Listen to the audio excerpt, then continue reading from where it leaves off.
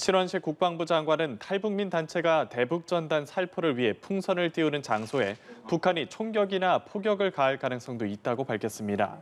신 장관은 오늘 보도된 일본 요미우리 신문 인터뷰에서 김여정 북한 노동당 부부장이 지난 16일 담화에서 대응 변화를 예고한 것과 관련해 이같이 예상했습니다. 총격이나 포격 외에 북한이 지뢰 매설, 무인기를 사용한 전단 살포, 위성 항법 장치 전파 교란, 사이버 공격 등의 수단으로 도발할 수도 있다고 신 장관은 전망했습니다.